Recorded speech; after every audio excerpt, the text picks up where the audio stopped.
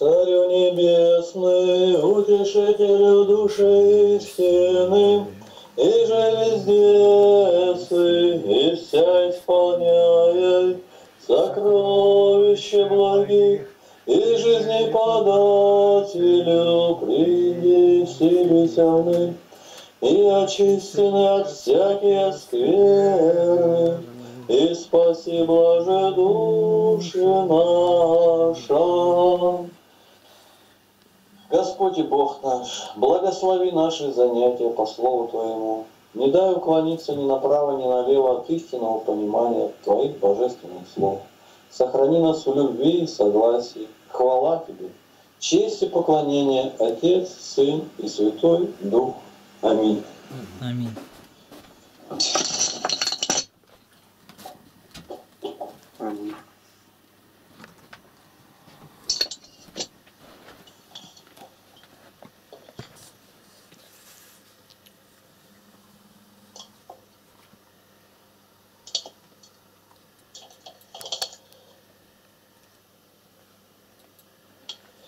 Первое послание к Коринфянам. Так, кто помнит, на чем остановились? 10-18. 10-18. Спаси По Христос. этому стиху так и считай, как написано. Хорошо. Посмотрите на Израиля по плоти. Ну да. Те, которые едят жертвы, не участники ли жертвенника?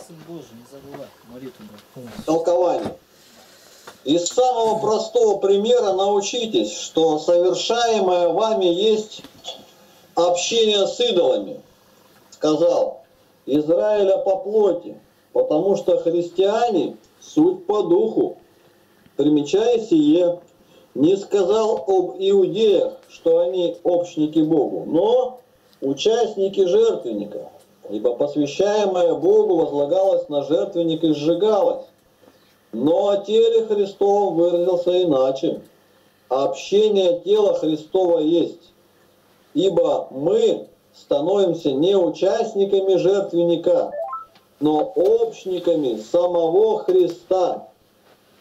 Опасаясь же, дабы слушатели не пришли к той мысли, что как Бог, принимающий жертву иудеев, мог вредить так и идолы, принимающие жертву у язычников, могут вредить не приносящим жертв. Присовокупил следующее. 1 Коринфянам 10, 19. Что же я говорю? То ли, что идол есть что-нибудь, или идоложертвенное значит что-нибудь? Толкование. Я отвращаю вас от идолов не потому, будто они имеют силу делать вред или пользу, ибо они решительно ничто, но потому, что принимаемая им жертва не идет к вашему владыке. Приносимая. А я- Приносимая, но потому, что приносимая им Христом жертва не идет к вашему с большой буквы владыке. Посему продолжает. 1 Коринфянам 10.20. Нет, но язычники, принося жертвы, приносят бесам, а не Богу. Но я не хочу, чтобы вы были в общении с бесами. Толкование. Так, секунду, я сейчас...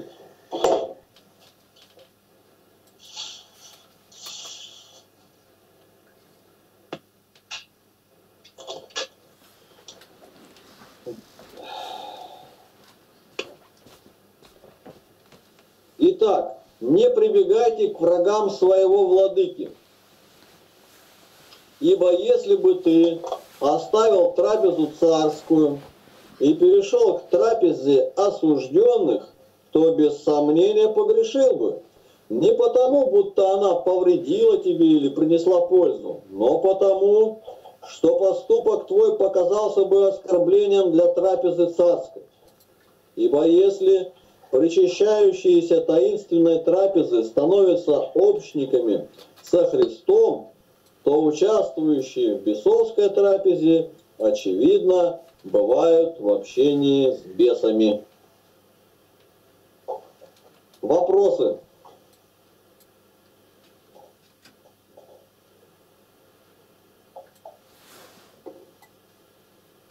Игнатий Тихонович, есть что тут добавить? По этой теме ничего нельзя добавлять. Потому что у нас Хорошо. конкретно нет сейчас, где жертву приносят идолам. Надо просто принимать и запомнить это. Угу. 1 Коринфянам 10, 21. Не можете пить чашу Господню и чашу бесовскую. Не можете быть участниками трапезе Господней и в трапезе бесовской. Толкование. В виде увещания сказал, я не хочу, чтобы вы были в общении с бесами чтобы этого увещания не оставили без внимания, теперь ту же мысль выражает в форме отрицательной. Не можете пить чашу Господню и чашу бесовскую. Одними именами доказывает, что от идола жертвенного необходимо удерживаться. 1 Коринфянам 10, 22. Неужели мы решимся раздражать Господа? Разве мы сильнее Его? Толкование. Говорит это в укоризну им. Неужели нам испытывать и раздражать Бога? Может ли Он наказать нас, когда мы переходим на сторону врагов Его? Потом, дабы показать всю нелепость их поведения, говорит, разве мы сильнее его? Напоминая сим весьма резкое изречение. Они раздражили меня не Богом, суетными своими огорчили меня. Второзаконие 32, 21. Вопросов нет пока? Я скажу немного здесь. Ян, Давай. Ян Кронштадтский говорит, уста курящего – демонская кадильница. Вот где жертва приносится сегодня демону.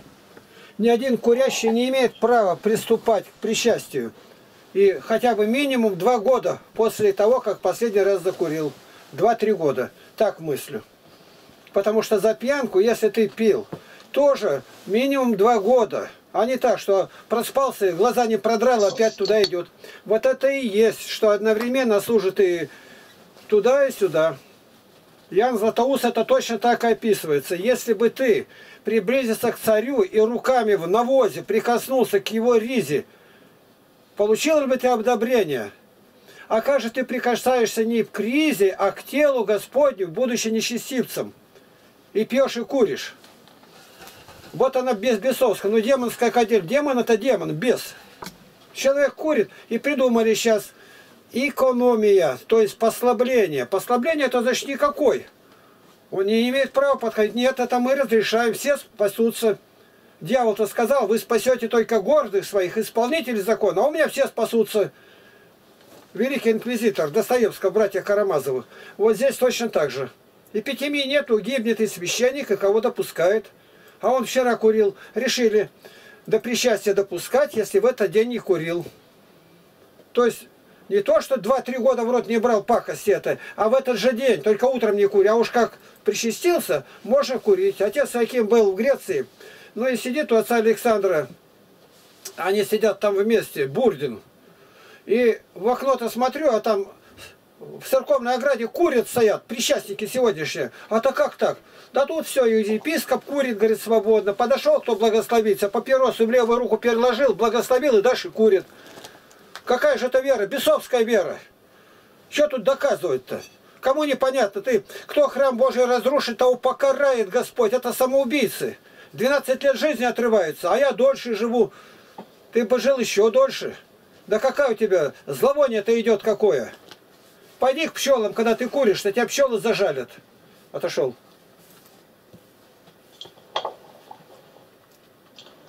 Первое Коринфянам 10, 23. Все мне позволительно, но не все полезно. Все мне позволительно, но не все назидает. Толкование. Дабы кто не возразил, я ем с чистой совестью, потому имею право так делать, говорит. Нет. Все тебе позволительно, поскольку Бог сотворил тебя свободным. Но чтобы есть идоложертвенное, это не совсем для тебя полезно. Ибо постоянно участвуя в трапезах идольских, ты шаг за шагом получишь расположение к самим идолам. Поведение твое, как и прежде я говорил, не полезно ни для тебя, ни для брата твоего. Ибо оно не назидает его, а скорее расстраивает и извращает веру его. Если же нет пользы ни тебе, ни брату твоему, то для чего тебе делать это? 1 Коринфянам 10, 24. Никто не ищи своего, но каждый пользу другого. Толкование. Не то только имей в виду, с чистой ли совестью ты ешь, но и то, назидает ли брата поступок твой. Во многих местах своих посланий поставляет это дело самым необходимым.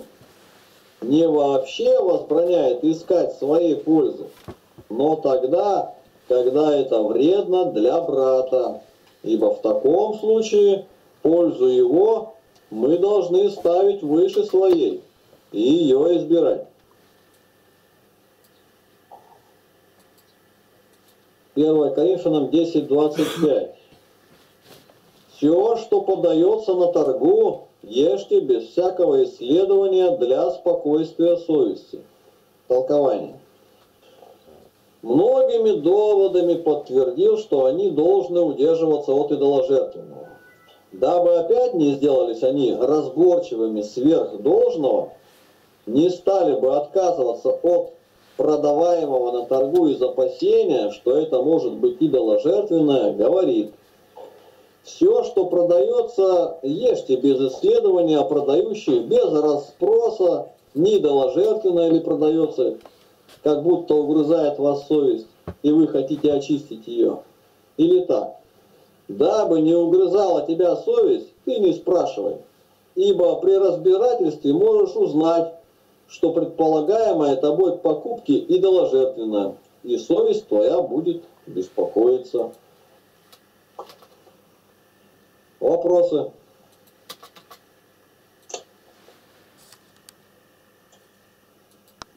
Понятно здесь о совести? Ну, вроде бы как, с одной стороны, можно спросить, ну вот, незнамо человек купил идоложертвенное и ест. Так он же бессовестный, он же предполагал, что это может быть идоложертвенное. А здесь нам толкователь говорит, а ты не спрашивай, апостол Павел, не спрашивай, совесть тебя не будет. То есть есть как будто это не идоложертвенное. Вот. А так купишь не идоложертвенное, а будешь думать, что это идоложертвенное, совесть тебя будет мучить. Поэтому вот он и дает такой совет. Даже если ты купил идоложертвенное, но ты не знаешь, идоложертвенное или нет, и съедаешь это, и совесть тебя не мучает. Почему? Потому что идол в мире есть ничто, он тебе никак не повредит. Никакого магизма в этом мясе нет, оно не, не заколдованное, порча не на нем не, не наведенная, ничего не, не это. А то сейчас чуть что занемог человек, идет к колдовке, она на тебе порча, тебя испортили, надо, надо карму тебе почистить, и начинает его деньги с него доить. А христианину это ничего не, не повредит. Но специально э, этого делать не надо на показ. Иначе брат соблазнится. Тебе-то это действительно не повредит. А вот брат, видя, что немощный брат, который думает, что в этом что-то есть, ради него воздерживается. Игнатий Николаевич. Давай, Тут лукавство пробралось и здесь, даже без идолов. Сейчас, ровно через полторы недели, будет начало Великого Поста. И вот начинает исследовать. Берет булочку, а чем она была там подмазана, то есть не растительным ли маслом. А теперь, а может туда молоко запустили. То есть проверить-то нельзя и начинает вот это излишнее прямо похожее. Но и в обратную сторону тоже никуда. Берет пирожок мясной с ливером. Тут и проверять нечем, потому что когда идольское они освещали, ну, побрызгали водой, а там ничего на нем и нигде не сделать. Печать не ставила, Роспотребнадзора, санэпидемстанция. И нельзя было узнать. Ну, ты-то ты видишь, что мясо, мясо. Что ж ты говоришь-то? Ну, а написано не исследуйте. Да исследовать-то ничего не надо, ты же видишь, что сало. Берешь колбасу, что ее исследовать? Она мясо. Мясо запрещено есть. Все позволено. Еще раз говорю, за 300 лет ни один старообрядец нигде не будет молочное есть. Они другое не знают, а это знают. И мы с детства приучены были к этому. Никогда, даже мысли нет. У маленький ребенок, мать скажет, корова, молоко, кака. Чтобы другие это поняли, есть нельзя. Но ребенок, он и не разговаривает еще. От груди отсадили, ни один уже не будет. И под это подгонять, это лукавство. Вызвали как-то на вопрос, здесь был погиб отец Михаил в благочинной Новоалтайке. Ну и спрашивают, ну вот если на Новый год пригласили куда, ну, соседи, там, друзья праздновать, они верующие, они положили кусок мяса, есть или не есть? Он четко отвечает, есть, чтобы соблазн не подать. Чтобы соблазн не подать. Что он подает соблазн верующим, зачем поперся-то туда? Идет рождественский пост, когда Новый год-то еще 7 дней до Рождества, и пошел туда куски мяса подъедать. И учит прямо в храме так. Ну что спрашивать-то? То все дозволено, то есть ничего и нету. Господь с нечистотой не пребывает. Не называйся православным. Называйся как-то по-другому, баптистом, ешь, тогда у них не, им закона никакого нету. Вот и все. 1 Коринфянам 10, 26. Ибо Господня земля, и что наполняет ее толкование? Господня, а не бесов. Если же земля Господня, то Господни и плоды, и деревья, и животные. А если все Господне, то по природе нет ничего нечистого. Но все зависит от мысли каждого. 1 Коринфянам 10, 27. Если кто из неверных позовет вас, и вы захотите пойти, то все предлагаемое вам ешьте без всякого исследования для спокойствия совести. Мясо ест спокойно совесть. Хорошо сказал, захотите, ибо сам не хотел ни советовать, ни отсоветовать.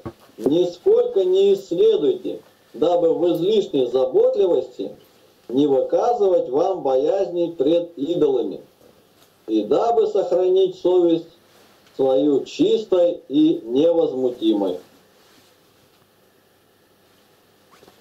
Да, вот так, так и напрашивается в пост пойти в гости, налупашиться там мясного, и все нормально. Написано же, не, не исследуйте.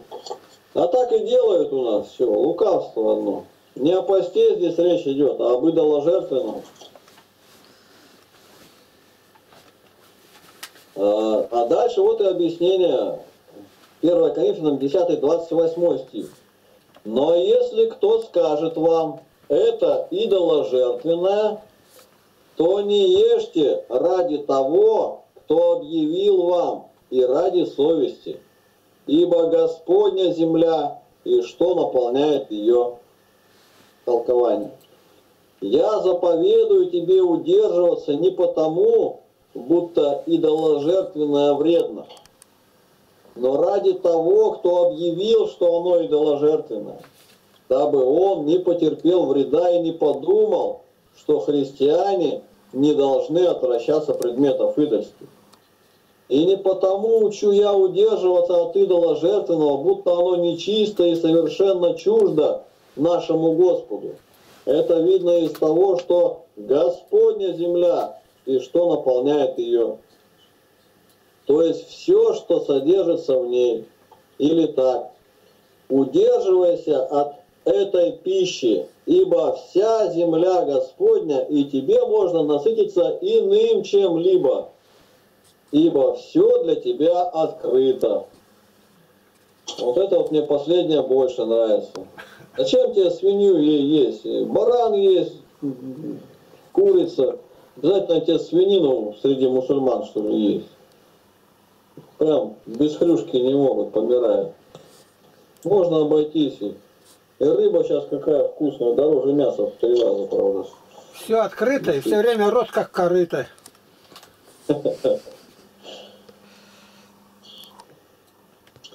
И дальше продолжение. 1 Коринфянам 10.29. Совесть же разумею не свою, а другого. Ибо для чего моей свободе быть судимой чужой совестью? Толкование. То есть язычника. Ибо он, быть может, как я сказал, соблазнится или сочтет тебя чревоугодником, или подумает, что и ты, подобно ему, принимаешь идолов. А дабы кто не сказал, к чему тебе заботиться о том, кто объявил. Ибо ты прежде всего сказал, что мне судить внешне? Говорится, забочусь не о нем, а о вас, чтобы вы не подверглись осуждению. Поэтому и присовокупил следующее. Свободы называет безразборчивость и нестеснение запрещения. Я, говорит, буду есть свободно и без разбору. Но язычник осудит меня и скажет, вера христиан суетная. Они говорят, что внушаются идолов, а между тем приносимое им в жертву охотно едят. Ну вот. Также и нам надо ради, ради неверующих сейчас пост. Какие же вы православные, если в одну неделю, главное, и последнюю. Лукавство тоже одно. Нарушаете пост. Какой же вы? Сами говорите, что надо поститься, а в конце приходите и постившиеся, и не постившиеся. Но это действительно так, Господь призывает всех. Но этим-то не надо пользоваться, раз говорят в конце на Пасху. И постившиеся, не постившиеся, а я, и, значит, можно и не поститься. Лукавство. И православный обязан поститься. Если не постишься, значит ты не православный.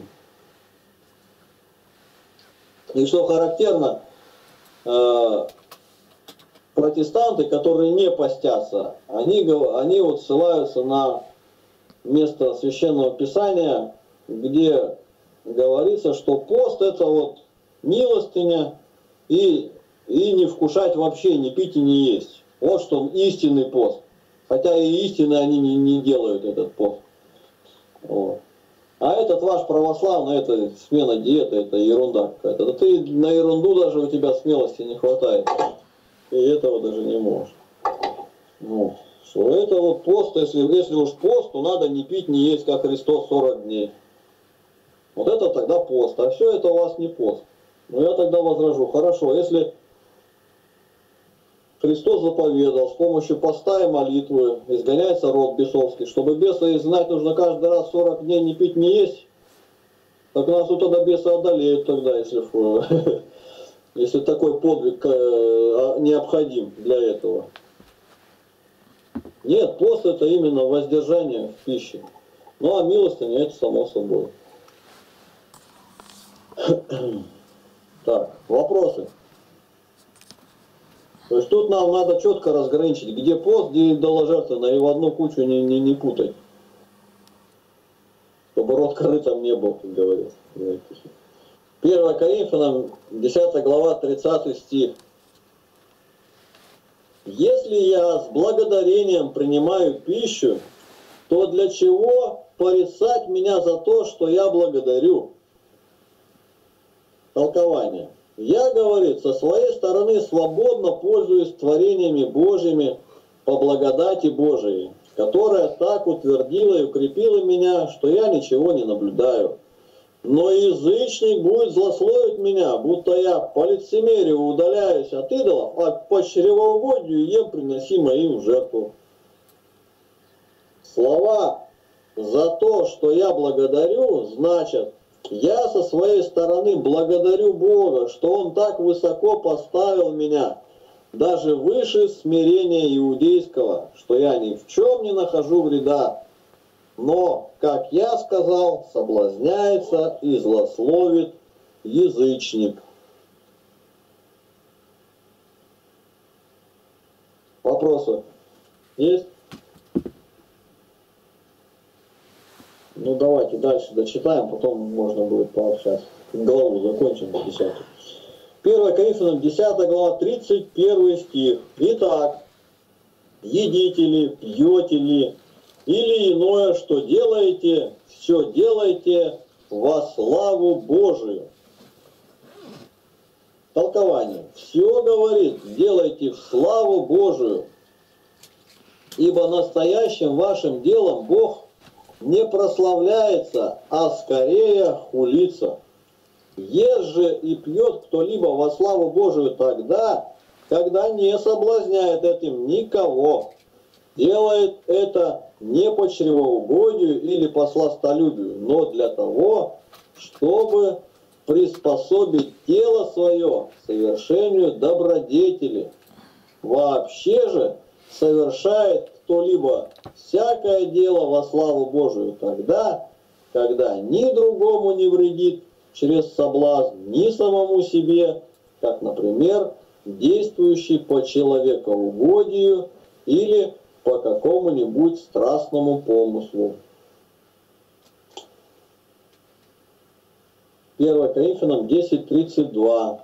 Не подавайте соблазна ни иудеям, ни еленам, ни церкви Божией. Толкование. То есть никому не подавайте никакого повода к злословию. А это будет тогда, когда мы не будем соблазнять ни иудея, ни язычника, ни тем более братьев, ибо церковь Божия они. Примечай. Важнейшее он сказал в конце. Христиане должны и прочих привлекать к вере, а не то, чтобы преследовать даже братьев. Разумеет же, поднимем всех, которые соблазнялись тем, что они ели идоложертвенное.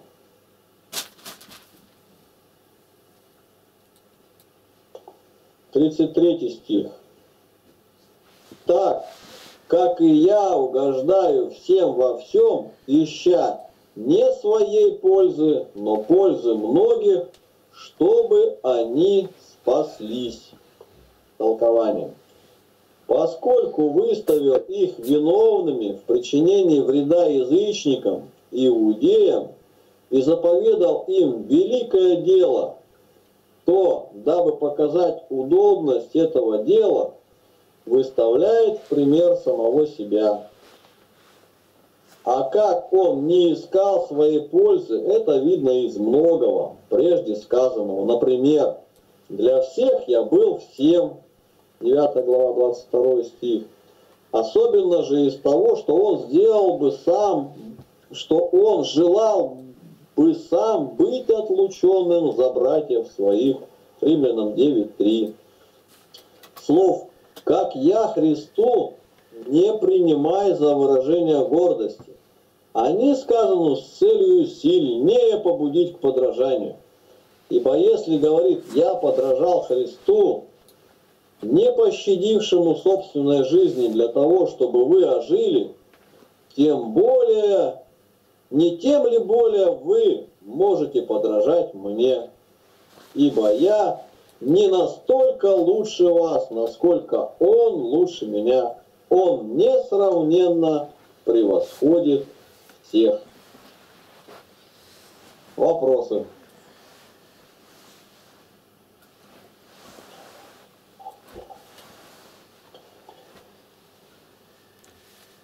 Вот у меня вопрос. То есть Иудея Елена соблазнить э, понятно.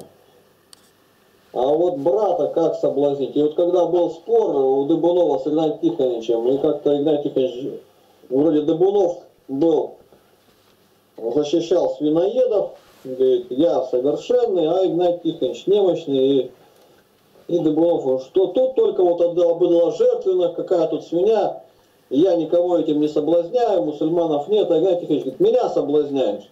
И я сразу думаю, ну как, вы же не мусульманин, Игнатий Тихонович. А здесь вот прям 32 стих говорится, то есть ни Еленов, ни Церкви Божией, то есть и братья тоже могут из-за этого соблазниться. А вот, да, что вот вроде как он только на, напа, ну как, чревоугодием может быть соблазниться, да, что брат подумает, что ты чревоугодник, поэтому идоложертвенную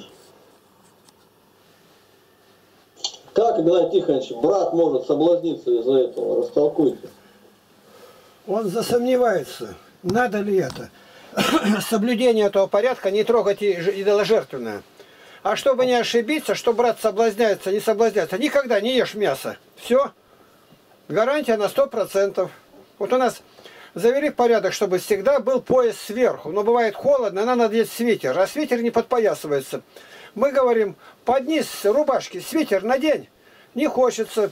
А мне столько свитеров, знакомые там, хорошие люди поставили. Я их собрал, рюкзак и сумку набил, кажется, и пошел в дом инвалида. В один день все раздал и все. И ни одного замещания больше не будет. Но почему ты не хочешь это сделать? Каждый день замещание с бородой подстригает или что-то. Я разговариваю с баптистами. Вы живете среди русских, знаете? Ну да. А вы видели православную церковь? Видели. А вы знаете, что их много, миллионы таких людей, которые ходят? Да. Но ну, у православных есть пост. Но он же не евангельский. Тебе не надо говорить, евангельский доложертвенный или нет. Соблазн.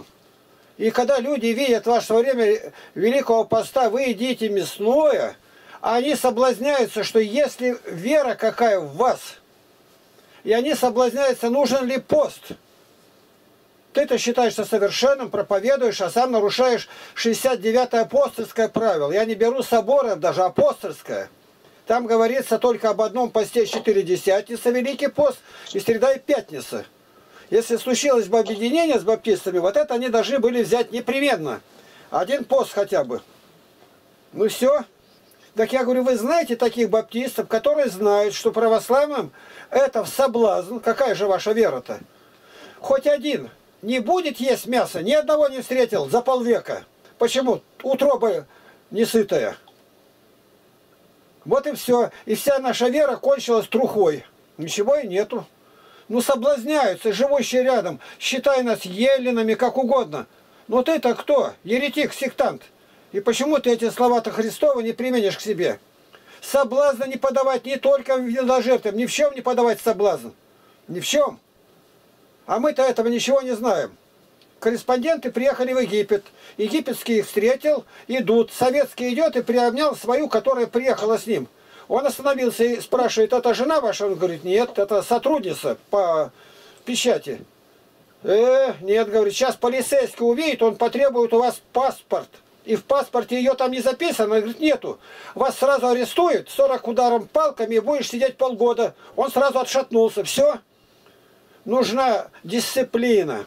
Если дисциплины нет, шабаш тебя. Поехал в другую страну, изучи законы. Мы пришли в церковь Христову. Мы были в мире, ничего не знали, ели подряд все. Сегодня ограничения, у нас все иное. И вот начинает, я свободен. Ты свободен грех делать только. Свободен, все позволительно, но не все полезно, не все назидает. Уже так видно, что полцентра лишнего на себе носит и все еще оправдывает эту плоть. И болезни-то от этого какие? Ну, страха Божия нет, это я что говорю, это все равно бесполезно. А если ты один раз услышал, ты никогда больше не прикоснешься. Я могу таких людей назвать, которые близкие нам. Они один раз услышали, больше никогда. Великий пост не нарушали. Мало того, вообще не едят мясо. Хотя мы вообще этого не запрещаем даже.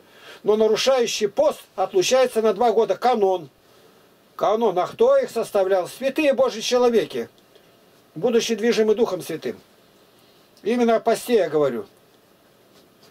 И не надо много тут и рассуждать. Или-или, ты соблюдаешь или нет. Ты не соблюдаешь, выведи, какая причина. Почему ты пошел на этот соблазн-то? И ты увидишь, там ничего и нету. Хитрый сатана, деноминации, конфессии. А этих слов нету.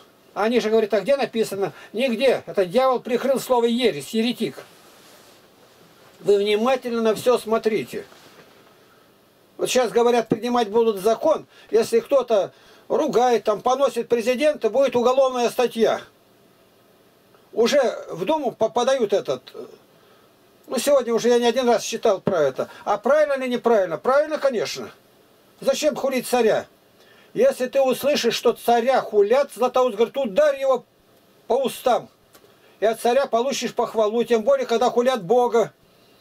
Я не призываю к этому бить, но однако это везде и всегда. Ты попробуй хоть одно слово скажи там где-то в Турции или где. Это сейчас расхлябанное. И раньше за это дело сурово наказывали. Не хули царя. Вот и все. Заранее надо приготовиться к этому. Язык-то маленько прикусить. Я попутно хотел сказать, Сережа, ты объяви относительно утренней молитвы, чтобы все знали. И второе. Сегодня праздник 12 Сретение. Я православный. Но я говорю, почему этот праздник-то поставили в 4 веке? До 4 века его не было. Не было. Это в Википедию заряди, и ты там увидишь. А как был? Никак. Вообще его не отмечали. Но, но если нам нужно встретение, почему не сделать встреча Савла со Христом? Тут мы все получаем, а от этого, что встретил Симеон, мы никто не получили ничего. Никто, только он получил это праздник, говорящий о смерти. Ныне отпущаешь, то есть наконец-то я умру. Это праздник смерти. И как это, тут рассуждать не надо. Но я православный, я его соблюдаю, не работаю, ну и все остальное. Сегодня положена рыба, я все равно выловлю одну в чашке. Нужно научиться брать полезно, не ища своего для плоти. Отошел. Первое послание к Коринфянам, 11 глава, 1-2 стихи. «Будьте подражателями мне, как я Христу. Хвалю вас, братья, что вы все мое помните и держите предание так, как я передал вам». Толкование. Окончив речь о едении идола жертвенного, грехе тяжком, теперь исправляет грех несколько легчайший. Ибо у него в обычае между тяжкими грехами вставлять менее важные. Что же это было? То, что женщины и молились, и пророчествовали, тогда пророчествовали и женщины, с открытой головой, а мужчины и во время пророчества покрывали головы как занимавшиеся любомудрием. Это был обычай эллинский. Апостол уже замечал об этом, быть может, во время своего пребывания у них. Но одни из них послушались, а другие не послушались. А покорных он говорит, хвалю вас, что вы мое помните, Хотя в виду имелось одно то, чтобы мужчины не покрывали голову. Однако он говорит, все мое помните.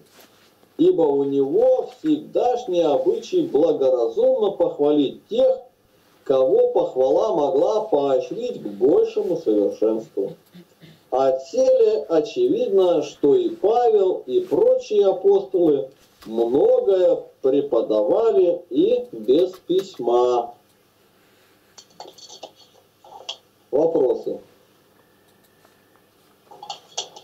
Ну вот в вопросе, вопрос о преданиях. Что главнее, предание или писание? То есть вот здесь вот действительно, что Павел, он, это у нас сейчас мы читаем Писание, но Павел им пишет и говорит, Хвалю вас, братья, что вы все мое помните и держите предания так, как я передал вам. То есть хвалят их за то, что они держат предания. Это не записано нигде. Ну сейчас это у нас записано.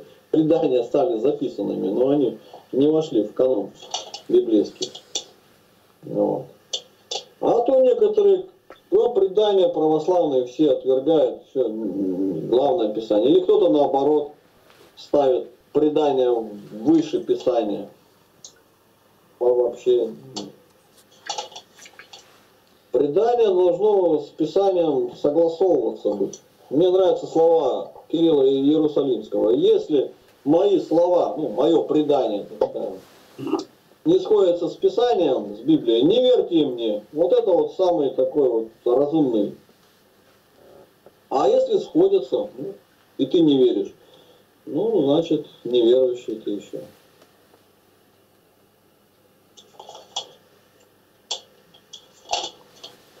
Вопросы?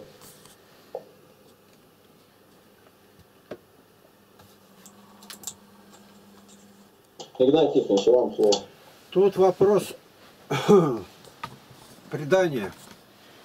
Когда его употребляют в разговоре с сектантами православные приводят это место. И правильно, что приводят. Но ведь имеется в виду предание старцев. И то, что написано позже. В данном же случае апостол Павел говорит о том, что он говорил и не было записано, передал. Вот это предание. Мы должны ставить вопрос не что выше, а что первичнее. Первичнее предание. Христос ничего не записывал. Он говорил, и поэтому осталось в предании. Как слышишь, он говорил, а не как пишешь. Евангелие от Матфея считается, появилось, записано, стало Писанием через пять лет после Вознесения Христа. У Марка через семь, у Луки через 15, а у Иоанна через 35. Вот это стало Писанием. А до этого передавалось устно, из уст в уста. Ветхозаветнее было преданием. Вот Моисей записал, как Бог творил мир. Откуда он узнал-то? Господь открыл. И мы знаем, да, что жил дольше всех Мавпусаил, 969 лет.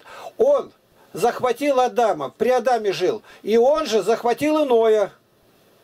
А Ной-то уже перешел через потоп, и тут могло быть э, оставлено по наследству. Все. Вот надо до конца это посмотреть, слепить эти даты и увидеть. Предание первичное. И говорить о том, что важнее, это одно и то же. Пока оно не записано, было преданием. Если мы говорим Писание, то мы знаем, начинается Святая Библия со словом «В», буква «В». В начале Бог сотворил небо и землю. И заканчивается мягким знаком «Аминь». Не добавить, не убавить ни одной буквы, ни одной черточки. Но что церковное предание, сегодня я не знаю точно сколько, ну, не меньше как 500 томов. Томов. 300 томов только патристика, патрология Миня. Это Златоуст 12 томов, Василий Великий, Ефрем Сирин 6 томов, а так Жития святых. Вот все, что, где, когда говорили Игнатий Брещанина, все это в предании пишут и пишут. И спросить, кто знает, чтобы точно знать, никого еще я не мог найти. Почему? А нигде и учета не ведется. Вздумал сослаться, сослался. А он канонизирован. И на Игнатия Брещанинова 30 лет назад никто не ссылался. Раз, его провели в святых. Теперь непрерывно его цитируют, подражают ему. А Слово-то Божие этому не учит. Кто бы это ни был, сверяй слова его с Библии. Если это не сходится, не верь. Не верь. Даже ангел с неба будет подходить, не верь. Все апостолы 12 не так, не верь. Галатам 1, 8, 9. Отошел.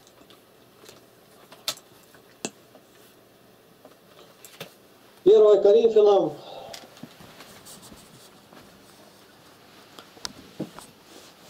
11 глава, 3 стих.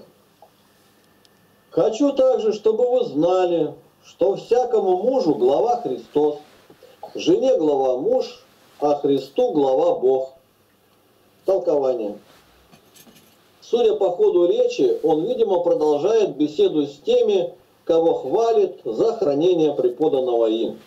Но на самом деле он исправляет непокорных слыша, что Христос есть глава всякому мужу, разумей верному. Ибо мы, верующие, тело Его, а не язычники. Почему Христос не глава им? Муж – глава жене, потому что господствует над нею. Бог – глава Христу, потому что есть причина Его, как Отец Сына сказанное о главе не нужно понимать в одинаковом смысле и о Христе. Христос – глава нам и потому, что Он Творец наш, и потому, что мы Его тело. А Отец – глава Христу, как причина Его. Если же название Отца главой Христа будешь понимать и по человечеству, в таком смысле, в каком сам Христос – назван главой нам, тут не будет ничего нечестивого. Ибо Отец называется и Богом Христа по человечеству. Иоанна 20:17. Поскольку же Он восхотел уподобиться нам и назвался и братом нашим, и главой, то ничего нет нового, если Он принимает и имена уничиженные и Отца Своего по божественности имеет главой по человечеству, как Царя Своего и Бога Своего. Вопросы?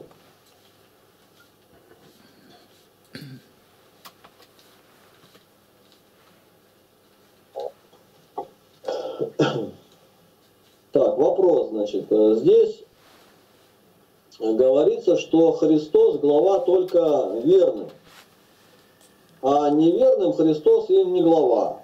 И вот такая ситуация. Жена верующая, муж неверующий. И вроде как жена говорит, раз э, Христос ему не глава, то и я тебе подчиняться не буду.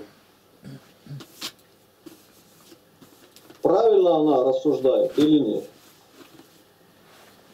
Как, как жена мужа, то есть ты мне не господин, я сам, ну, я, я сама глава, допустим, или равноправие у нас, потому что ты неверующий. А он там ее выдальские капища, допустим, не зовет, там в грехе не, не, не зовет, просто он хочет, чтобы порядок был в семье, чтобы ну, подчинялась, как я, говорит, глава. А вот как уверуешь, так буду тебе подчиняться. А пока погоди немного. А он, ну, неверующий, Бог веры не дает. А, а то, что он должен быть главой, с этим он согласен как раз. На это у него веры хватает. Игнатий Тихонович, ответьте, пожалуйста. Ну, понятно, что никто не отменял, чтобы он не был главою. Мне в жизни пришлось однажды встретиться что жена, она головы на две, наверное, ниже мужа, а он высокий такой, по два метра, Иван. И она дошла до того, что стала бить его. Что не так, она подойдет и ударит его. Но он терпел, терпел, и, видимо, кондиция -то дошла до нужды. -то. Он стал молиться, а она маленько уже начала приближаться. И он стал молиться, Господи, дай мне силы на пять минут быть неверующим. А он раньше ее гонял, лупил, как собаку. Когда он, он взмолился, как она упала в ноги, Ваня, прости, больше не буду. Она поняла, если он вернется, то он теперь зашибет ее. Ее тыкву расколет пополам. Дальше уже некуда было идти. И все а теперь оба верующие, и все. Так что, бить жену? Я не, зову, не зову к этому. Но смысл напрашивается. Когда церковь не слушается Христа, что Христос делает? Он ее в пекло буквально заталкивает, пока церковь не освободится. А жена дослушается мужа, как церковь Христа во всем. Некоторые из этого делают вывод. Делает вывод, как у старобрядцев, по субботам профилактику ей перед баней. И она ходит, как шелковая, по одной плашке. К этому не призывая, Златоуст говорит – но все-таки ты скажи, тебя Бог благословил на этот брак? Так если Бог дал тебе, так люби его, как в фильме показывается, племя Антихристова, когда она пошла. Что он развелся говорит ей, видели, может, этот фильм-то? И она сразу брякнула ему и пошла. Ты племя Антихристова. Да вот жена а ушла, ушла к другому. А почему ушла к другому? Так Бог раздал тебе жену, так ты любил бы ее, дал мужа, ты люби ее. И этом все сказано. Люди в мире ничего этого не знают, и там законов никаких нет. А если он бьет и прочее, ну, Златоуст говорит, это и Василий Великий, можно развестись, но такого совета мы не даем. Вот весь ответ. Совета не дают. Переможется. Пройдет время, может быть будет по-другому.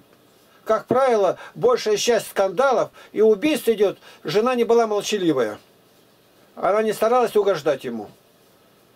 Ну и все на этом. А какой фильм-то, Игнатий Тихонович, напомните? Да я мог бы показать, только как-то надо снять в конце или как. Я не знаю, какой фильм это назвать, что-то про север. Там староверы, а он как какой-то, кто он такой там, как революционер или кто. И он у колодца встретился, она там бодейки принесла, и он смотрит на нее, какая ты красивая. Она не сказала, наверное, говорит, уже замуж. Да, меня сосватали, а кому? Да Еремия. А ты его любишь? Что значит любишь? Родители сказали. Видишь, как Юда Бенгур, ты его любишь? Я научусь любить. И она даже никаких. И моя подруга, там, ей 16 лет, ее выдали за Паисия, она перечисляет. А потом посмотрела на его и говорит, вы, наверное, с женой живете? Она говорит, нет, говорит, я с сыном живу. А жена умерла, говорит, царство небесное. Она говорит, да не умерла, она ушла к другому. Как ушла? Ну, полюбила. Она на него посмотрела. Полюбила? Бог дал мужа, так люби же его. Надела коромысло и уже издалека бросил. Ну, племя Антихристова. Вот это маленький ролик за- за- заведи где-нибудь в интернет племя Антихристова, и она выйдет сразу. Прям сразу же выскочит. Это здорово показано. А то, что раз- разводятся, это племя Антихристова. Ну, кто-то может, попробуйте, у вас получится, нет. Племя Антихристова. А какой недавно фильм вы смотрели о войне? Советуете всем посмотреть. Советую всем посмотреть. Скажи, как? Вот сейчас Володя скажет. Про совесть что-то. По соображениям совести. По соображению совести. Да. Вот она пришла сразу.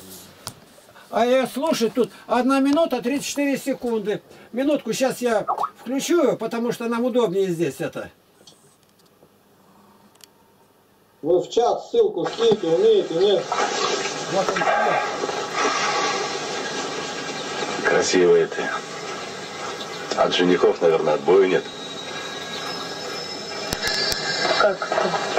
Я просватана давно. А сколько ж тебе лет? 16. Когда ж ты успела?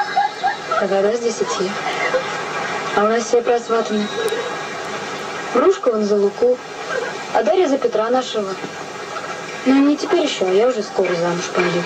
За кого? За Еремея. Ага, он как.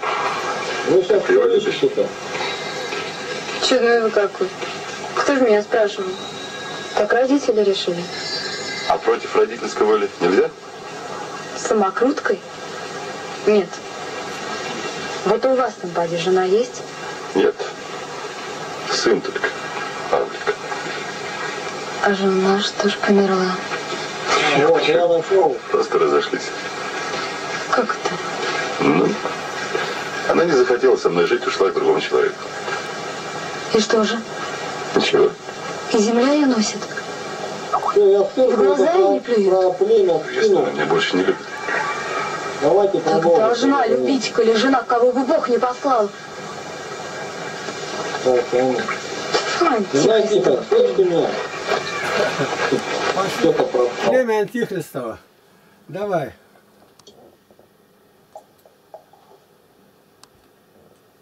1 Коринфянам 11 глава 4 стих.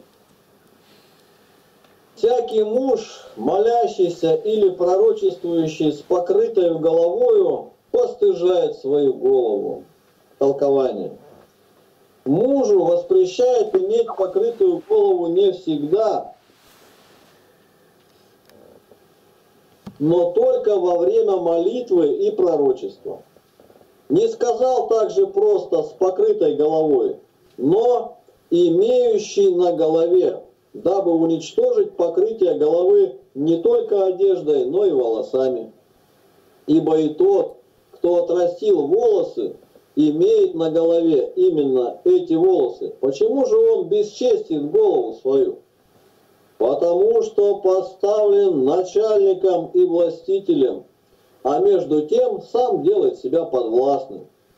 Ибо покрытие головы означает наложение власти на голову.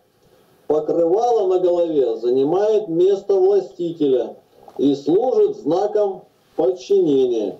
Или так, постыжает свою голову Христа, унижая себя и теряя свободу.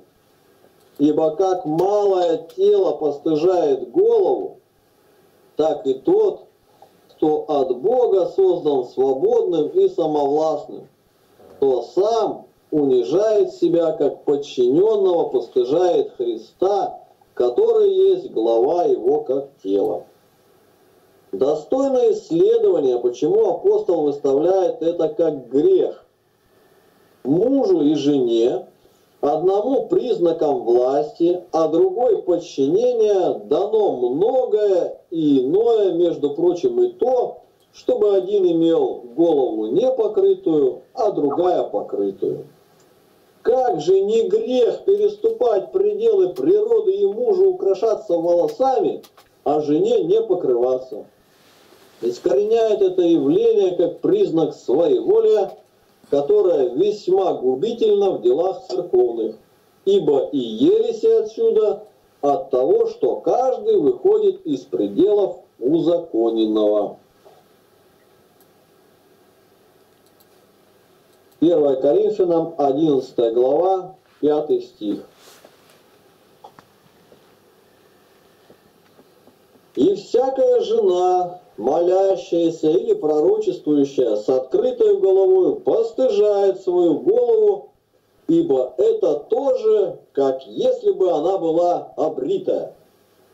Толкование. Были, как я сказал, и женщины с даром пророчества, например, дочери Филиппа, Деяние 21.9, и многие иные. Чем же постыжает голову свою? Тем, что объявляет голову каким-то изгнанником, отступившись от веренной ей Богом власти. Знай также, что мужу воспрещает быть покрытым как сказано, во время молитвы и пророчества. А жене воспрещает быть не только в это, но и во всякое время. Ибо всего он желает, когда говорит, ибо это тоже, как если бы она была обритая.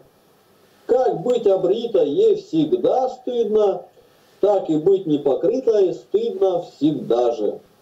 Волосы заменяют собой покрывало – Посему снимающая с себя покрывало похоже на снявшую с себя волосы. 1 Коринфянам 11.6 Ибо если жена не хочет покрываться, то пусть и стрижется. А если жене стыдно быть остриженной или обритой, пусть покрывается.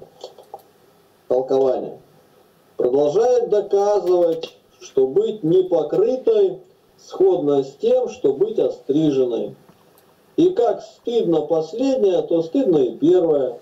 Всем этим выражает, что женщине всегда стыдно быть непокрытой.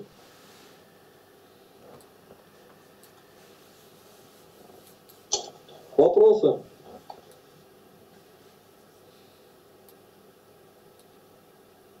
Продолжаем. Игнат Тихонович, ну, что интересно, мусульмане это знают, а христиане не знают. Где бы ни посмотрел, все без платков. Даже зимой такой мороз, женщина без платка идет. Мы нигде не видели во всем мире, где мы были, чтобы женщина-мусульманка хотя бы одна была без платка. Вот мы в Париже были, идет какая-то здоровая женщина, ну, видно, что черная она, темная, с кожей, и одета, платье до полу, и закрыто все как положено в Болгарии сидит за рулем, одета. Я улыбнулся ей, и она мне улыбнулась. Я поклонился и показал на голове у вас, вот палец. Она еще улыбнулась, так и едет дальше. Но ей приятно посмотреть. Как только въезжаешь в наши шесть республик мусульманские, как будто в другое государство. Совершенно по-другому люди одеты. Стоит живот, видно большой, стоит она в парке и платье до полу. Одета полностью. Едем по Хабаровску. Он идет Никакой не ваххабит, нормальный мужчина в коляске, и она одета по всей форме. Вот и все. Почему? Священники не занимаются народом совершенно. И все это научились оправдывать. В чем она одета, это никого не касается. Голова открытая не касается. То есть никакой веры-то нету, одно постыжение. И поэтому Господь пришел к погибшим овцам Израиля. избранный народ оказался погибшим. Вот такое православие наше сегодня фальшивое, лживое, ни к чему не обязывающее. И виноваты в этом священники. У нас-то все одеты. Вообще ни одной нет, чтобы пришла на без платка. Да и как одета это? Не как у старобрядцев, если не замужье, полголовы открытые. Ну просто посмотрите на снимки. Это можно сделать. Ничего не стоит в один день. К нам приехала Захарова Александр, это секрет, секретарь городского отдела УВД города Барнаула. Сразу переодели. Она везде в снимках в государственном журнале «Охрана» МВД.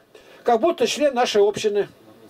Кто бы ни приехал, милиция, прокуратура, ни одной без платка не будет. И ни одна в брюках нам не зайдет.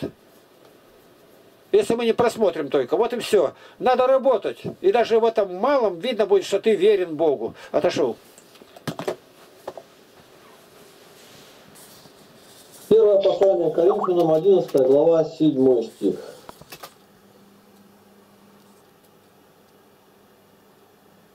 Итак, муж не должен покрывать голову, потому что он есть образ и слава Божия, а жена есть слава мужа. Толкование. Первой причиной выставил то, что муж имеет главой Христа, и посему не должен покрываться. Теперь представляет и другую причину, то, что он есть слава Божия. То есть наместник Божий и образ его. Посему представителю власти царя, царя с большой буквы, всех, э, простите, Посему представителю власти царя всех должно являться пред него со знаками этой власти, то есть с непокрытой головой. Ибо она служит знаком, что муж не подвластен никому из земных, но сам господствует над всем, как образ Божий. Далее. А жена есть слава мужа, то есть подчинена мужу, Посему и являться ей должно знаком подчинения, а таким знаком служит иметь покрытую голову. Вопросы? Вот у, у меня вопрос, почему у военных а, честь, когда отдают, и говорят, не прикладывай руку к пустой голове, то есть обязательно должна у военного голова быть покрыта. Это какой-то обычай. Связан он как-то с этим или не связан? Или... Знаете? Нет, тут никак не связано. Это мирская привычка. А мы видим, вот где вот там в Америке, они поставляют руку в пустой голове, как говорим. Другое. Вот сегодня мне звонит один протоиерей и задает вопрос. Я его всем перекладываю. Для себя пока ответь, а потом, может быть, то вынести. Это из Писания. В Ветхом Завете было сказано, если жена родит младенца мужеского пола, мальчика, она нечиста 40 дней. Если она родит девочку женского пола, нечистая с 80 дней, в два раза больше. Почему? Чем где ребенок-то виноват? И какая разница родить? И у ней все одинаково. И также воды отходят, и послед все. Но далее это что? А в Новом Завете женщина нечисто родившая мальчика 40 дней и девочка 40 дней. Если там ты объяснил как-то, то тут-то как? Почему теперь? Вот вам вопрос. И нужно этот вопрос ответить точно по Писанию. Абсолютно точно. Ну вот и все. И что интересно, сектанты все без платков. Какой-то накинут, так это болтается на голове, там прозрачное. Платка все боятся. Почему? Притом, где бы ты ни ехал, без платка. Даже чаще можно мужчину видеть с бородой, чем женщину в платке. Даже старая смотришь, старица, э, люди фотографированы, в городе особенно, без платков. Старица сидит, что-то на ней там накручено, но не платок. Почему? Значит, а вывод отсюда не молятся. Не молятся. Ну а почему? Не сказать-то было. Я вот в библиотеке проповедую, ну где-то большой город, допустим, Смоленск, библиотекарям все без платков. Я говорю, мы сейчас помолимся, в конце я сказал слово, а их-то сидит не один, не два человека. Но голову надо покрыть. Они мигом начинают что-то искать и покрыли голову. Сразу здесь же. Первый раз. Ну, священники имеют такую власть. И одеть женщин как положено, это достаточно одного часа. И все. И около двери поставить те, которые за этим смотрят. Они не хотят, бояться, что если я скажу, она не придет, ему деньги не принесет. В этом корыстолюбие дьявольское. Больше ничего нету. Вот и весь ответ.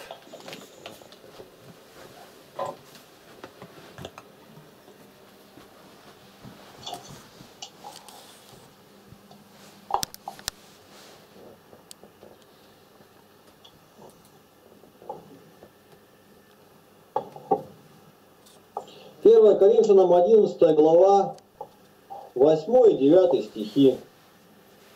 Ибо не муж от жены, но жена от мужа. И не муж создан для жены, но жена для мужа. Толкование. Выставляет причины, по которым муж преимуществует пред женой. Именно. Жена создана из ребра его, и не он создан для нее, а она для него. Ибо сказано, сотворим ему помощника. Бытие 2.18. Как же мужу покрываться, когда он так почтен от Бога?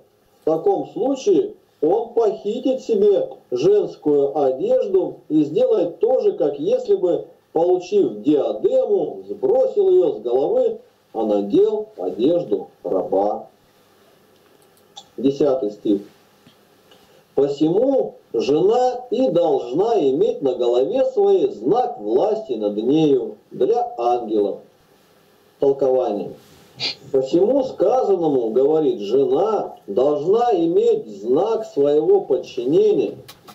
То есть, если не иное, что на голове, э, то есть, если не иное, что, то на голове покрывало из благоговения пред ангелами, дабы и пред ними не явиться бесстыдницей.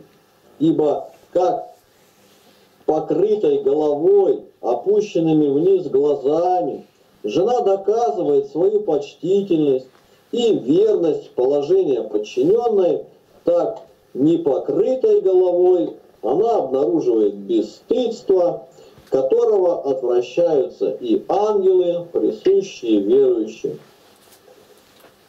Климин же, автор книги «Строматы», довольно тонко разумел под ангелами праведников церкви. Жена, говорит он, должна покрываться, дабы не соблазнить их на блуд. Вопросы?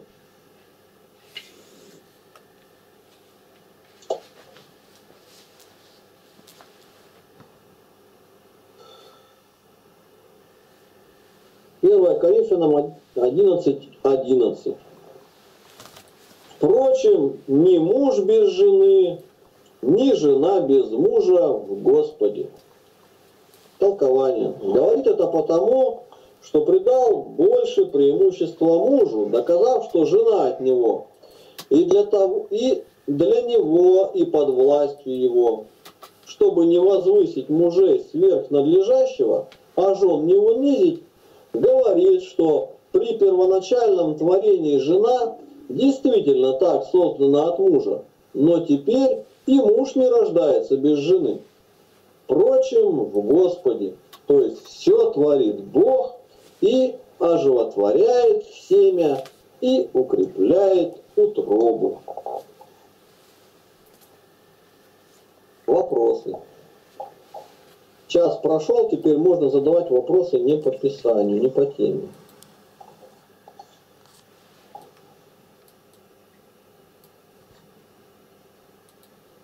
Нет вопросов?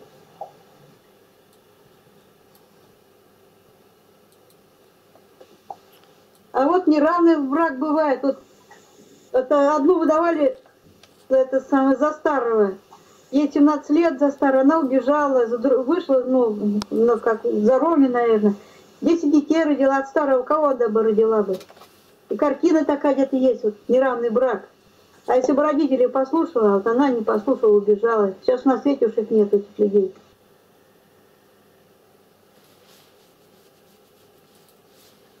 Ничего не понял, что вы сказали. Я говорю, неравный брак бывает еще, неравный брак. Ну, знаем, что бывает. И что теперь? Разводиться надо, что ли?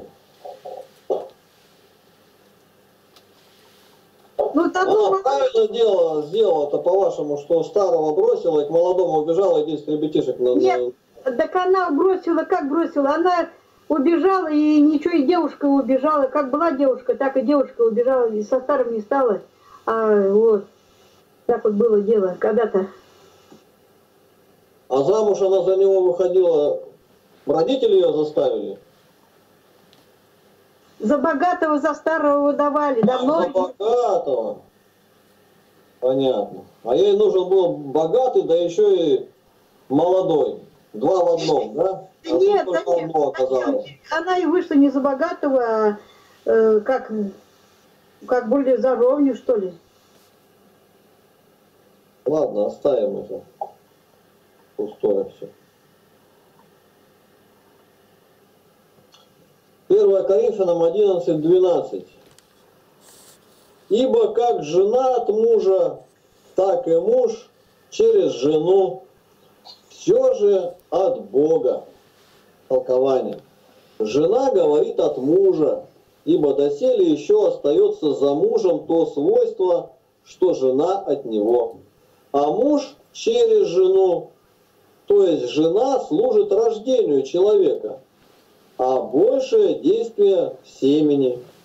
Посему о муже нельзя сказать во всей строгости, что он от жены, но от отца своего через жену, как послужившую рождению.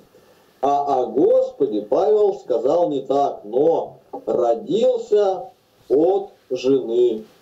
Он побоялся употребить предлог «через», дабы не подать еретикам повода говорить, что Господь прошел через Деву, как через канал, или потому, что в рождении Его, Христа, не участвовал муж, а был он плодом чрева одной только ее.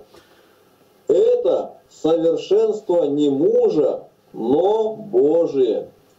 Если же все, все совершается силой Божией, сам же Он установил порядок отношений между мужьями и женами, то не спорь, а повинуйся. 1 Коринфянам 11, 13. Рассудите сами, прилично ли жене молиться Богу с непокрытой головой? Толкование. Опять самих их поставляет судьями, дабы вполне подтвердить то, чего желает.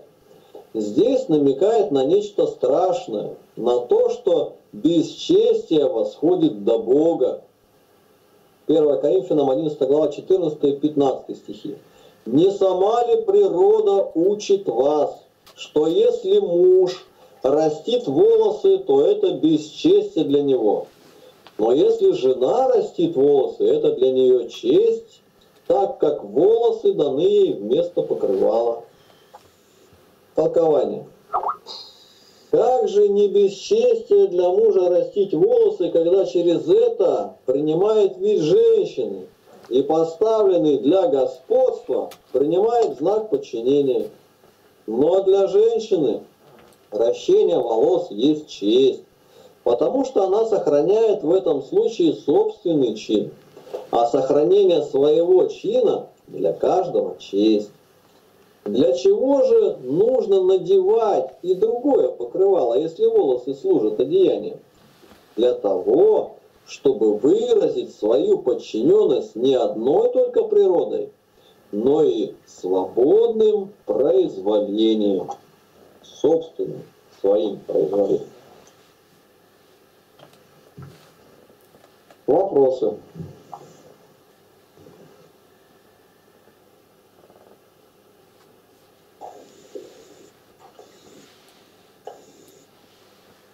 Так. Тут Алексей Куракин о неравном браке написал, сейчас прочту. Неравный брак это не грех. Есть такая пословица у казахов, по-моему, муж на коня садится, а жена родится. Он может в пять лет сесть на коня, а может и в 30. Ничего такого плохого тут нет, если разница в возрасте большая. Ну и я согласен.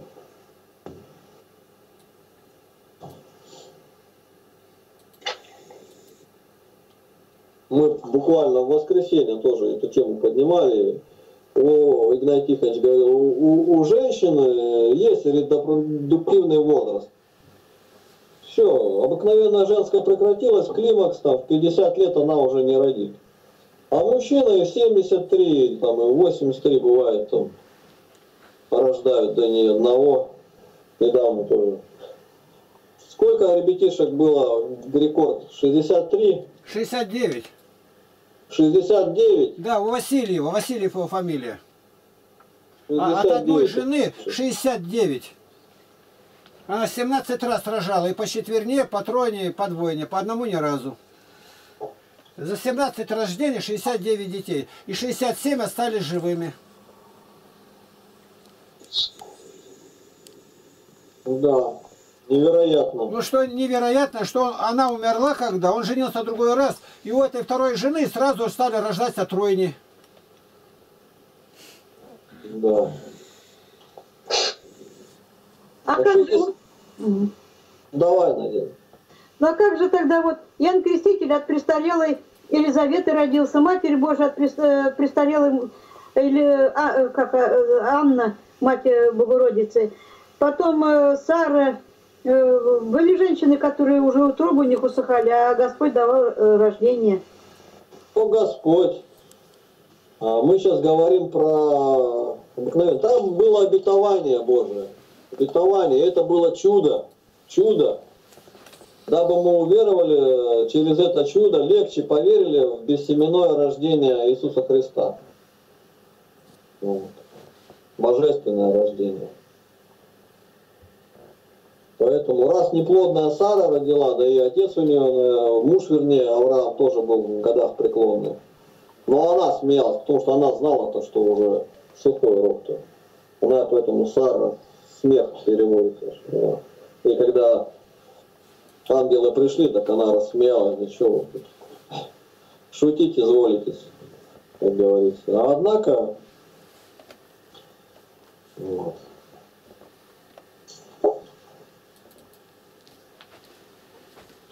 Это только по чудеса. Вы привели примеры, а кроме них еще какие примеры-то есть? Из подруг из ваших, кто 70 лет рожал-то когда? Не было такого? После 40 рожали, после 40. Я говорю не про 40, а про 70. После 40. Ну 70 это после 40. Ну давайте уж после 40 рожали. 40 не 70. Я еще раз говорю. После 70 рожали. Ну в интернете там где-то можно найти что-то. 60 вот пишут. Но 70 уже вряд ли. Ладно, что мы по этому? Бог даст, то если то и будет и в 70, и в 90. А не даст, то и, и, и- и в 20 не, не даст. И начинают там всякие пробирки. Потом мы придумали суррогатное материнство тоже. Чё, чё к чему? Бог не дает, ну, значит, ну, и поблагодари за это.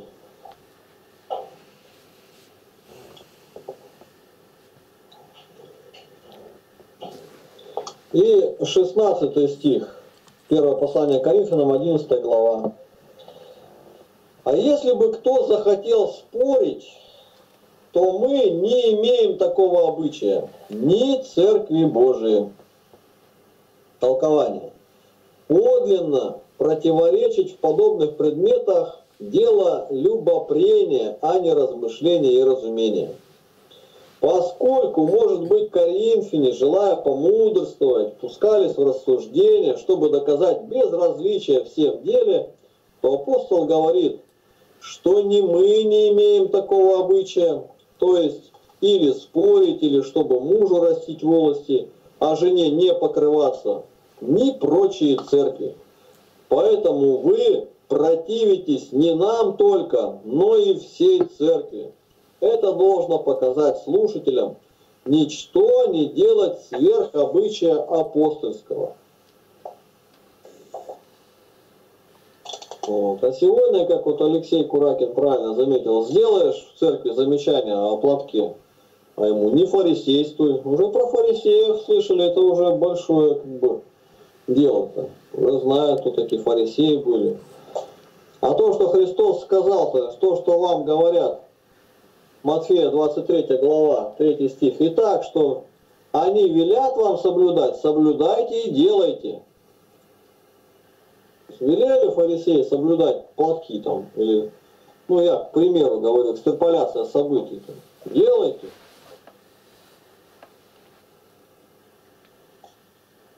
По делам же их не поступайте, ибо они говорят, но не делают. Вот в чем фарисейство-то. А тут э, каноны церковные дали, предание нам говорит, священное писание говорит, а сегодня, а разницы нет никакой. Ну, к антихристу, враг церкви, раз тебе никакой разницы нету. Мужчина или женщина перед тобой. Гендерные дети уже потом пошли. Она сама должна ребенок решать, кто она будет. Кем, кем ей расти, мальчиком или девочкой. И неважно, какие у нее детородные органы. Захотела, и все. Ее желание выше творения Божие. Безумие сплошное.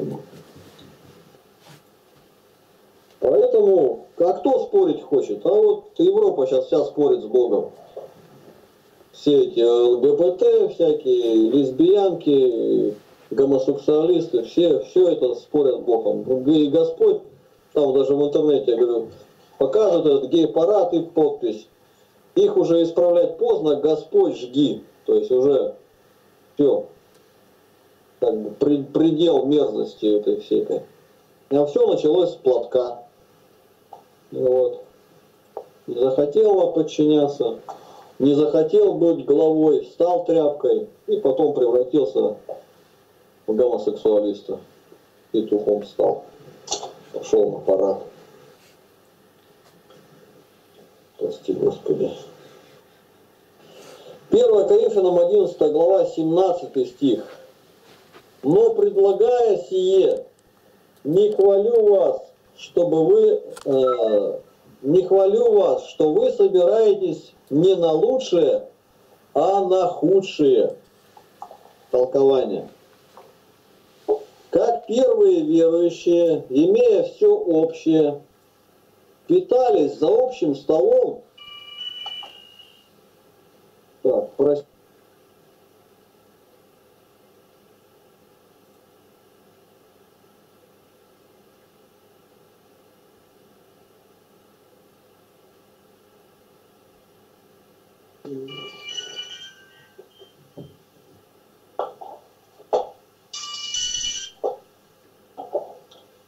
Э, толкование.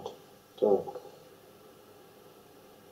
Как первые верующие, имея все общее, питались за общим столом, так из подражания им, хотя и несовершенного, в некоторые установленные дни, быть может праздничные. В Коринфе после причащения тайн была, э, предлагалось общее угощение – Богатые приносили яства, бедные были ими приглашаемы и угощаемы. Через разделение же этот чудный, дружелюбный и любомудрый обычай был извращен и всеми, и не всеми соблюдался.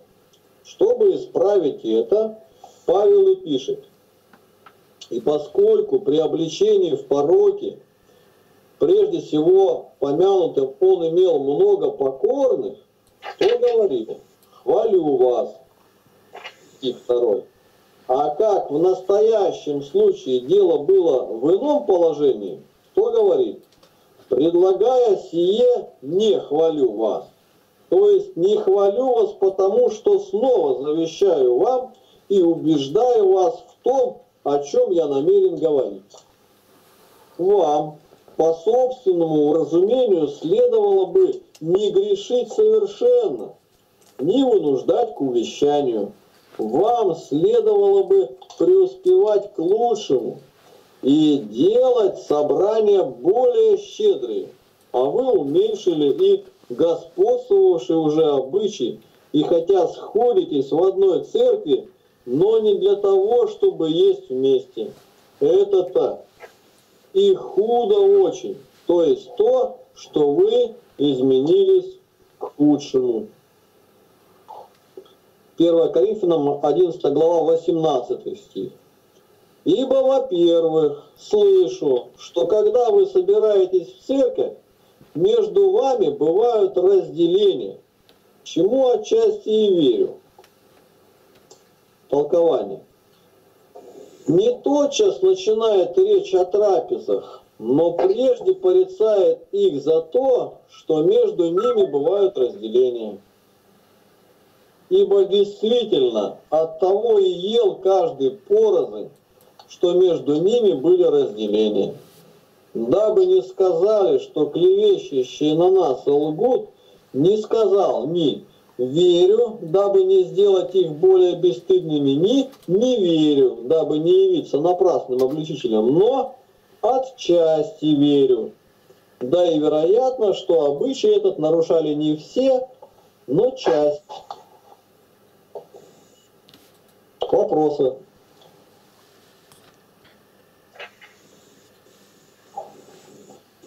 Игнатий Тихонович. Есть Вопроса нет, я ничего не скажу. Вот сейчас Да. сделает, как называется, Агапа. И пытались это восстановить, но сегодня вот у нас это перед занятиями проходит у нас собрание. Сразу, ну, кто не остается, тот ушел, а остальные приносят с собой еду, и у нас фактически получается Агапа, только у нас более свободная. Ничего нет, причащались, не причащались, но все пообедают. Голодный никто не остается. У нас это обычай, даже нужды никакой нету, притом каждое воскресенье. Вот, а если еще среди недели праздник какой-то бывает, а у нас даже свои памятные даты, то э, день общины, то день начала работы нашего сайта. И обязательно что-то сестры сделают. Это мы сегодня еще оценить не можем. Считаем, да, в порядке вещей. Ну, э, конечно, это работа. Нам видно, как собрания проходят, какую свободу имеют сестры, как они высказываются. И даже об этом мы не думаем. Но как вот естественно идут на улице, двое разговаривают. И тут же дети. Это надо работать. А люди такие же православные. Побыли в храме, все разбежались, никого нигде нету. Ну, почему же? Никто не работает. А к вам эти люди, к нам приезжают эти люди, первый раз, и они сразу же все делают, как мы делаем. Подражание. Никакой власти мы не показываем. Вчера мне одна звонит, лет 30-35 назад она была. Я говорю, а как вы нашли? Нашла, батюшке позвонила в больницу. И мне звонит, да вы мне тогда вот дали то другое, ничего не помню. Да я теперь монахиня, а, монахиня, у тебя имя-то другое, я тебя и не знаю. То есть она все помнит, что ей дали. И они, когда к нам приезжали, все до единого, сколько бы их не было, сразу одеваются по форме, также молятся, покажем, как кланяться, соблюдают посты, все до единого. Притом даже мирские приезжают, из машины не вылазят, если она одета в брюках, или ей вынесут. Даже покупать приезжают. Прокуратура, милиция, все звонят и говорят, мы это знаем, мы оденемся как должно. Это все от нас зависит. Меня спрашивают, ну а если у вас женщина в брюках, вы выводите ее из храма? Я же отвечаю, говорю, никогда. А почему? Да потому что ее не запустили, выводить некого. Сразу скажешь, и она сразу одергивается, а как тогда? Никак, мы сразу ей вынесли, платок дали, юбку, переоделась, заходи, стой здесь, смотри и запоминай. Ну, просто обидно, что не хотят работать. Нисколько, лишь бы деньги несли. Свечки. У нас нет торговли, с тарелкой не ходят. Ну, можно убрать. Священники воюют против десятины. Почему? Если десятина есть, торговать нельзя. А что-то десятина с бабки-то? Какая пенсия-то? Смешно даже говорить. И поэтому идет торговля, освещение, машин и прочее. Тут все с корыстолюбие. Корыстолюбие, корысть и трусость. Главное проказа, главное короста. В государстве везде. Я сегодня считал, сколько было э, ну, в Японии. Там народу маленько поменьше. У них 18 тысяч этих работников. Там бухгалтерия и все. А у русских где-то почти 200 тысяч. А количество населения почти одно, ну где-то раз в 20-30 больше-то. Ну что это, нормально? Никто не хочет работать. Ну ни, ни за что получает-то, ну за что ж ты получаешь-то, как ты перед Богом? Ну это должность такая, так должность-то придумали твои товарищи. Они пропустили это. Везде обман. Такое государство, оно не будет крепким никогда. Я просто попутно сказал это. Соблазн на каждом шагу. Вот и все.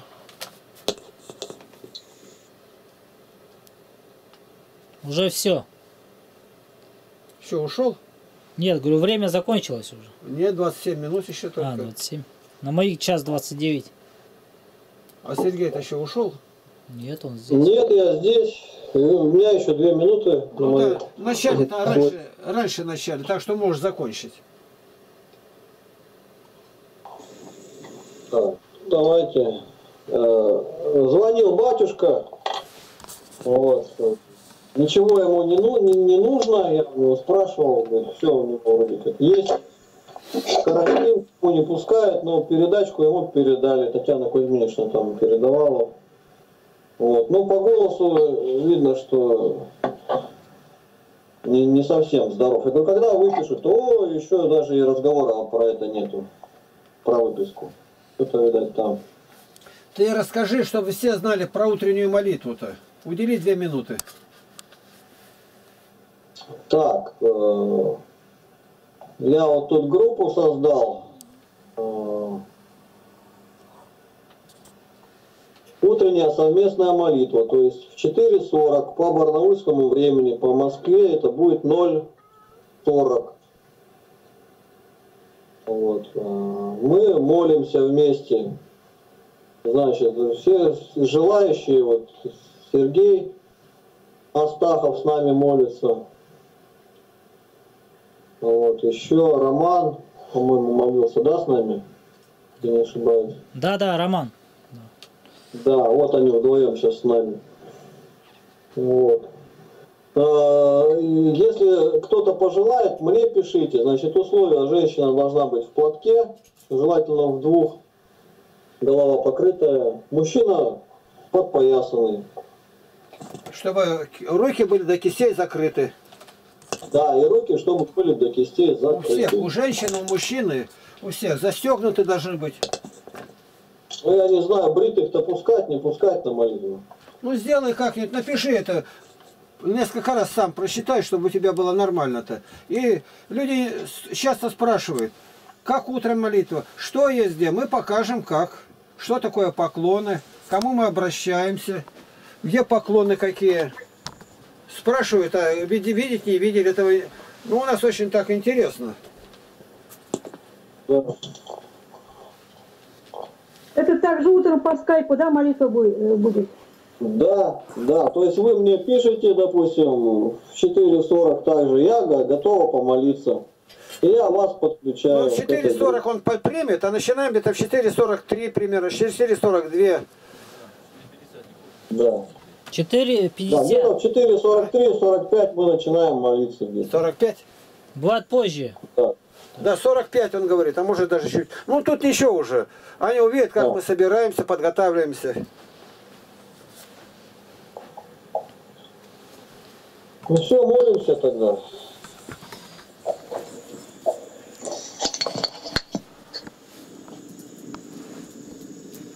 Достойно всякого истину, блажите Тя, Богородицу, пресноблаженную и пренепорочную, и Матерь Бога нашего, честнейшую Херувим, и славнейшую без сравнения Серафим, без исцеления Бога Слова родшую, сущую Богородицу Тя величаем.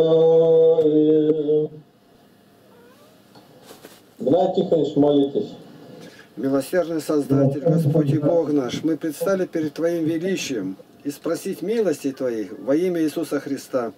Не по нашим беззакониям поступи с нами, но по Твоему неизреченному милосердию. Ты позволил нам встретиться с Тобою. Это день встретения мы пережили, благодарение Тебе, Господи Боже наш. То, что мы слышали, помоги нам с радостью исполнить. Вдохнови нас никогда не нарушать посты православной церкви. Дай крепость и силу в своих суждениях и в действиях, чтобы мы не искали причину не исполнять то, что установила Святая Православная Церковь. Распусти нас с миром, благослови болящих, и Виктора, и Акима, Сергея парализованного, и всех, кого мы поминаем. Тебе, Боже, слава за все, Отец, Сын и Святой Дух. Аминь. Аминь. Аминь. Аминь. Спаси Христос. Аминь. До пятницы.